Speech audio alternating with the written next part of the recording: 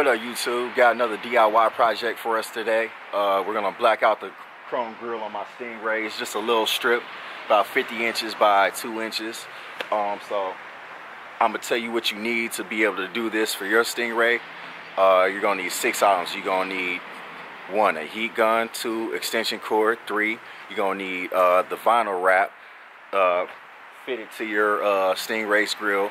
Four, you're gonna need uh, squeegee, a vinyl wrap squeegee. Five, razor blade. Six, rubbing alcohol. And uh, that should be it. Oh, seven, seven. You're gonna need paper towels also. I've already done this before. I got this video already posted on my channel on the silver one, but we doing it to the uh, Velocity yellow joint. So, first thing you wanna do is make sure this is clean. Your, uh, your area, which is the grill right here. I cleaned this the other day, but I'm about to go back through with rubbing alcohol just to make sure I get all the particles, all the uh, unseen specks off the car so the vinyl sticks perfectly. And then you also want to make sure it's a day where it's 60 degrees or, uh, or warmer. So the first thing you're going to want to do is take your vinyl that's cut the length and you're going to want to peel it back just a little bit, maybe about less than an inch or about an inch. And you're going to want to apply it to the trim. So when you apply it to the trim, you're gonna make sure it's level and lined up with the trim perfectly how you want it covered. And then you're gonna slowly apply the trim while peeling back the, uh, the non-usable side of the vinyl wrap. And that's how you stick the adhesive on. You actually wanna use less heat as possible uh, or the least amount of heat as possible. But if it's necessary, you gotta do what you gotta do. So this is what I'm talking about when I say peel it back. You're gonna wanna peel this part back. This is the vinyl that's gonna stick on the trim. And this is the part you're throwing away. That's the adhesive part at the end. Peel back about an inch.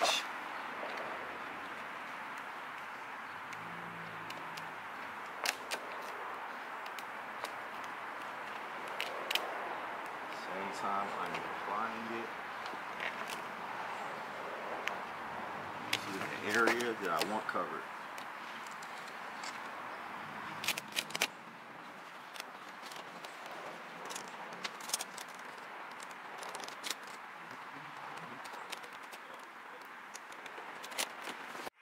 So that's what the black strip looks like when it's on there.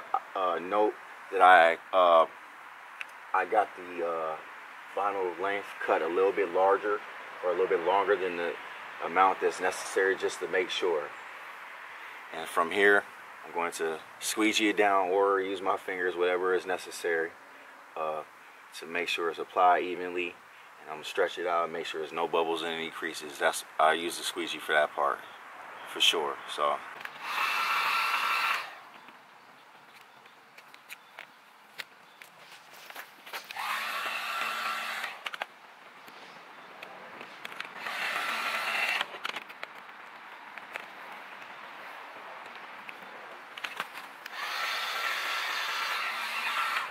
all right so um this is what it looks like when it's fully on there um fitted to the car.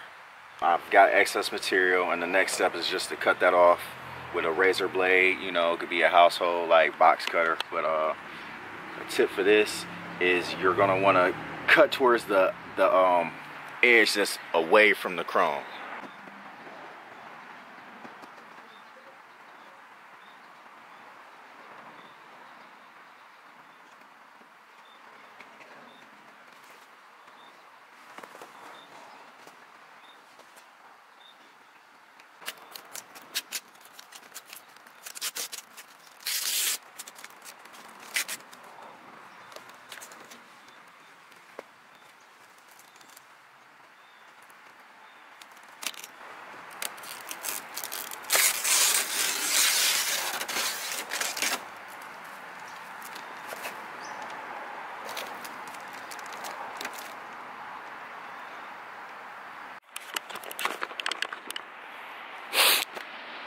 All right now, see, we got the bad boy all blacked out. That's what I'm talking about. Give us that Grand Sport Z06 look, that more racy, performancey look, um, without having to get the grill. But I'm gonna still get the Grand Sport Z06 grill. So I just, for for the 25 that I spent on that little vinyl, I couldn't stand that chrome. And like I said, well, I, I didn't tell you guys, I uh, meant to upload a video of me showing the DIY how to debadge or uh, take the Stingray emblems off and your uh, dealership badges off, but for some reason my SD card corrupted. So this is the video I'm able to give y'all today. I'm uh, I'm gonna show y'all a video when I get it all buffed out and waxed. Oh, uh, also um, like, share, and subscribe. Thank you.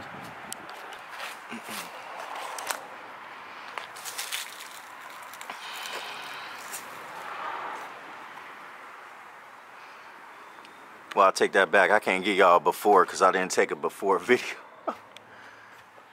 really.